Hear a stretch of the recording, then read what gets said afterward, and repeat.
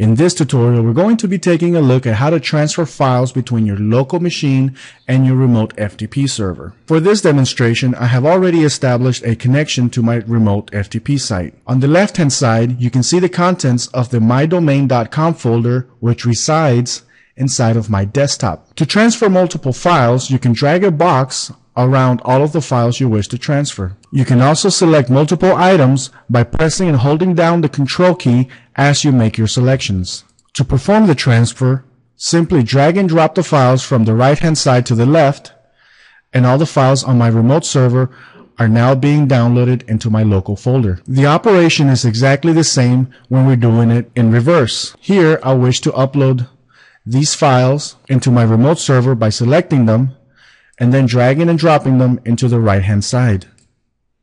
The system is now telling me that these files already exist on my server and it's asking me whether or not I want to overwrite those files. I'm going to go ahead and select yes this time.